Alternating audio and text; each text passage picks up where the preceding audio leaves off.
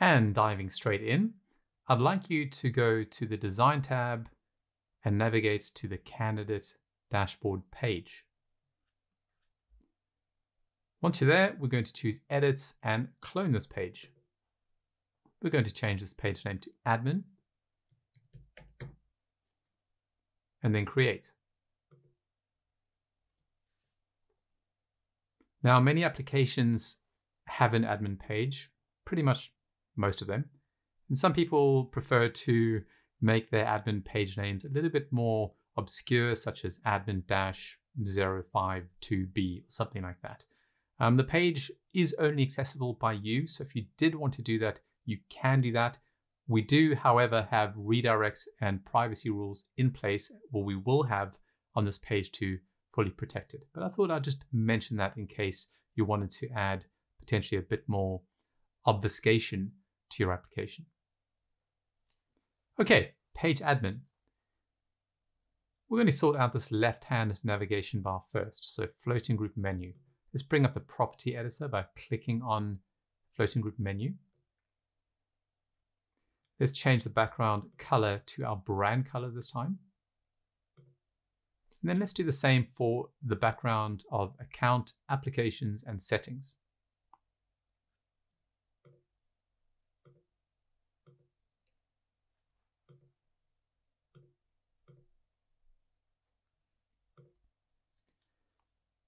So the navigation links we need are overview, users, jobs, applications, and settings. So we already have some of these. So let's just copy and paste two more. I'm going to use my keyboard shortcut, copy Command C, Command V. And one more time.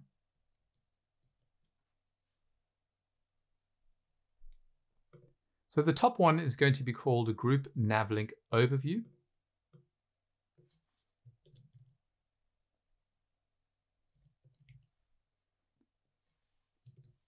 On the conditional tab, I'm going to change get v from page URL is account to overview.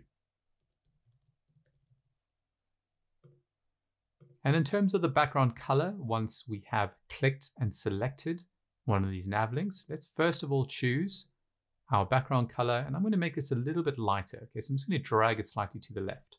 I'm not going to make it a style because this is the only place in the application that I do this. And I'm just going to copy this.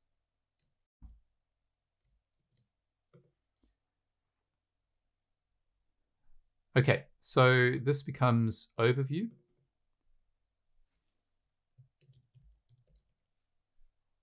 And the home icon works perfectly. Next, we're going to have users. So let's just go left to right and then we'll rename the group. So if I type in group, I get my users after an outline here. So I'm going to choose this one here. And I'm going to change applications to users. Then I'm going to get to my group and navlink application, change it to users. And then finally on the conditions tab, users. And then I'm going to paste in the color that I copied to clipboard earlier on.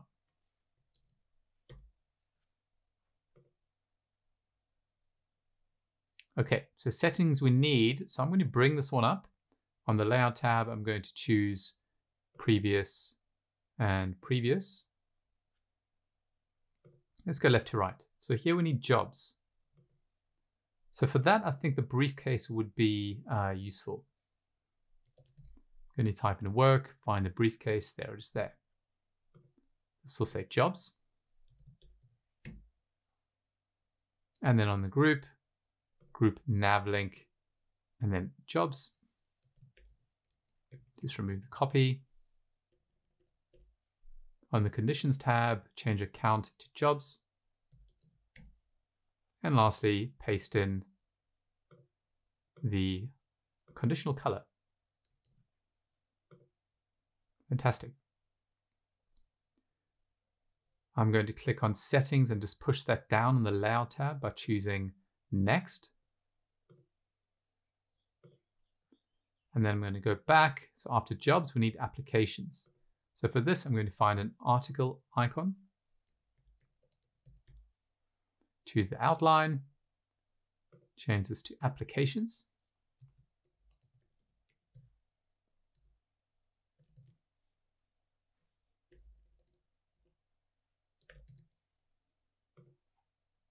Then on the group itself, group nav link instead of account applications. On the conditions tab, change account to applications, all lowercase.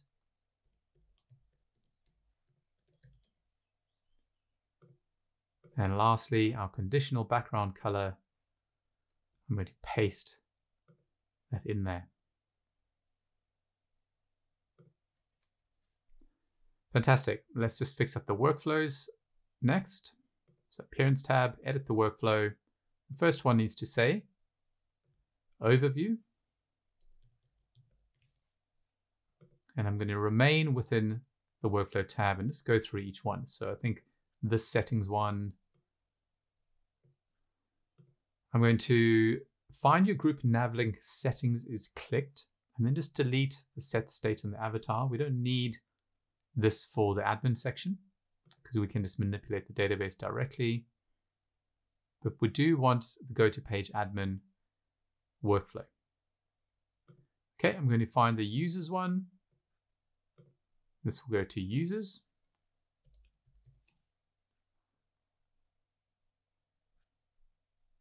All right, after that, I'm going to find jobs. Back in the design tab, I'm going to add a workflow. Navigation, go to page. I'm going to go to the same page. I'm going to send more parameters to the page. The key is V and the value is jobs.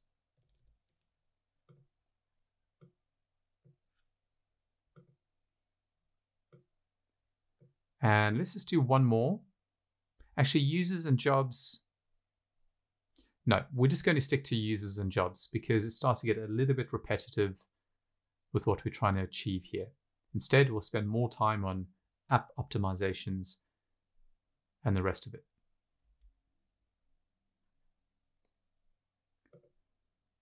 So let's have a look at the demo app to see what we need for users. So with users, we have an avatar. We have a user type, that's important. Name, email address, sign up date, and then an icon to view more. We also have this drop down that says select user type. And that points to our option set. Let's see what else we have here. If I open up jobs,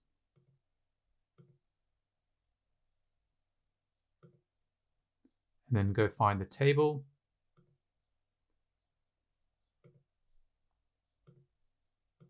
we have the company logo. And this is very familiar, looks very similar to what we have on the company page. And then we also have our dropdown.